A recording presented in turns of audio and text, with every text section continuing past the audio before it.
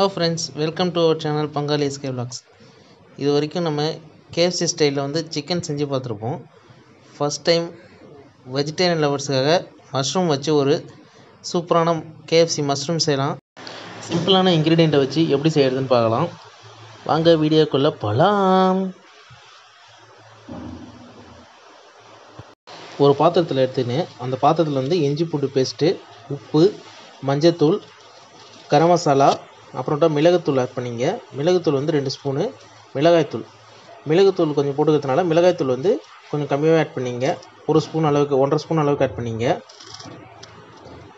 உங்கள் வீட்டுத்தூள் காரம் கொஞ்சம் கம்மியாக இருந்தால் கூட அதுக்கு தகுந்த மாதிரி எவ்வளோ தேவையோ அதை ஆட் பண்ணிங்க. அதன் பிறகு பார்த்தீங்கன்னா சின்ன கைப்பிடி அளவுக்கு ரெண்டு கைப்பிடி வந்து கோதுமை ஆட் பண்ணிங்க. கோதுமை ஆட் பண்ணிவிட்டு இதில் வந்து தண்ணி விட்டு நல்லா நம்ம சிக்ஸ்டி ஃபைவ் மசாலா கரைக்கிற மாதிரி நல்லா கரைச்சிக்க வேண்டியதான் நல்லா மிக்ஸ் பண்ணிக்க வேண்டியதான் சிக்ஸ்டி ஃபைவ் சிக்ஸ்டி ஃபைவ் போடுறதுக்கு வந்து எப்படி மிக்ஸ் பண்ணுவோம் அதேமாரி வந்து இதை நல்லா மிக்ஸ் பண்ணிக்க வேண்டியதான் நல்லா பேஸ்ட் ஆகிற அளவுக்கு நல்லா மிக்ஸ் பண்ணிவிட்டு மிக்ஸ் பண்ணதுக்கப்புறமா வந்து நம்ம க மஷ்ரூம் கட் பண்ணி வச்சுருக்கிறோம். அந்த மஷ்ரூம் கட் பண்ணி மஷ்ரூமை எல்லாத்தையும் வந்து அந்த மிக்சிங்கில் போட்டுடலாம். இந்த மசாலா மிக்ஸ் பண்ண வச்ச மசாலாவில் அந்த மஷ்ரூம் எல்லாத்தையும் கட் பண்ணது எல்லாத்தையும் போட்டுட்டு அதையும் நல்லா மிக்ஸ் பண்ணி மஷ்ரூம் எல்லா மஷ்ரூம்லேயும் படுற மாதிரி நல்லா மிக்ஸ் பண்ணிக்கணும். நல்லா ஒன்றுக்கு ரெண்டு தடவை வந்து நல்லா வந்து எல்லா மஷ்ரூம்ஸ் எல்லா சைட்லேயும் படுற மாதிரி நல்லா மிக்ஸ் பண்ணிக்கணும் அதை.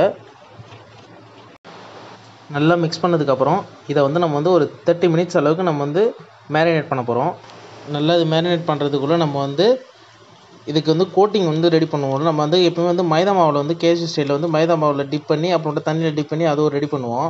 ஆனால் வந்து நம்ம இப்போ மைதா மாவுனா எதுவும் யூஸ் பண்ணாமல் சிம்பிளாக ஒரு ஓட்ஸை வச்சு நம்ம எப்படி பண்ணலான்னு சொல்லிட்டு பார்க்கலாம்.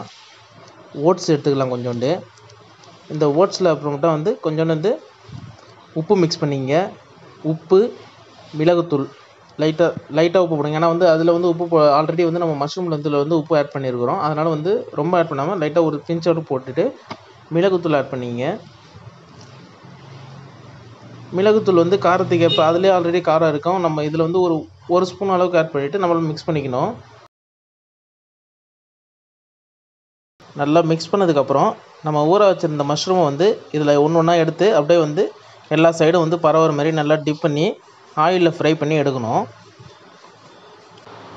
ஒரு கடாயில் எண்ணெய் ஊற்றி வச்சுருவோம். இந்த எண்ணெய் வந்து ஹீட் ஆகட்டும். அதுக்குள்ளே வந்து நம்ம மஷ்ரூமை வந்து அந்த ஓட்ஸில் வந்து நம்ம மிக்ஸ் பண்ணி எடுத்துக்கலாம். ஒரு ஒரு ம மஷ்ரூமாக வந்து நம்ம அந்த ஓட்ஸில் வந்து நல்லா ஃபுல்லாக எல்லா பக்கமும் கோட்டாகிற மாதிரி நம்ம மிக்ஸ் பண்ணிடணும். ஒன்று ஒன்றா எடுத்து மிக்ஸ் பண்ணி எல்லாத்தையும் வச்சுக்கிட்டு அதுக்கப்புறம் நம்ம ஆயில் ஹீட் ஆனதுக்கப்புறம் ஆயிலில் ஃப்ரை பண்ணி எடுக்கணும். நம்ம மிக்ஸ் பண்ணி வச்சுக்கிற மஷ்ரூம் எல்லாத்தையும் இந்த ஓட்ஸில் போட்டு நம்ம எல்லாத்தையும் ரெடி பண்ணிக்கலாம். ஓட்ஸில் போட்டு இந்த மாதிரி ரெடி பண்ணதுக்கப்புறம் ஒன்று ஒன்று தான் ஆயிலில் போட்டு அப்படியே ஃப்ரை பண்ணி எடுக்க வேண்டியதான் வந்து எண்ணெயில் போட்டதுக்கப்புறம் உடனே திருப்பாமல் ஒரு தேர்ட்டி டு ஃபார்ட்டி செகண்ட்ஸுக்கு அப்புறம் திருப்புங்க. ஏன்னா உடனே திருப்பினீங்கன்னா அதில் இருக்கிற கோட்டிங் எல்லாம் பிரிஞ்சிடும் நம்ம மிக்ஸ் பண்ணி வச்சுக்கிற மஷ்ரூம் எல்லாத்தையும் இந்த மாதிரி ஒன்று ஒன்றா எண்ணெயில் போட்டு எடுக்கணும். எண்ணெயில் போட்டு நல்லா கோல்டன் ப்ரௌன் கலர் ஆகிற வரைக்கும் நல்லா ஃப்ரை பண்ணணும். இந்த மாதிரி நல்லா கோல்டன் ப்ரௌன் கலர் ஆனதுக்கப்புறம் நம்ம ஒரு தட்டுக்கு மாற்றிக்கலாம் இதை வந்து அப்படியே வந்து நம்ம ஒரு தட்டுக்கு வந்து நம்ம எடுத்து வச்சுக்கலாம். இப்போ இப்போ பார்த்தீங்கன்னா நம்மளோட சுவையான கேஎஃப்சி ஸ்டைல் மஷ்ரூம் வந்து ரெடி ஆயிடுச்சு இது கூட வந்து மைனஸ் இல்லைனா வந்து டொ டொமேட்டோ சாஸ் தொட்டு சாப்பிட்டிங்கன்னா ரொம்ப நல்லாயிருக்கும் இந்த கோட்டிங்க்கு வந்து நம்ம வந்து மைதா யூஸ் பண்ணாமல் நம்ம ஓட்ஸ் யூஸ் பண்ணிக்கிறதுனால இது ஹெல்த்தியாகவே இருக்கும். நீங்களும் வீட்டில் இருக்கிற பசங்களுக்கெல்லாம் செஞ்சு கொடுக்கலாம்.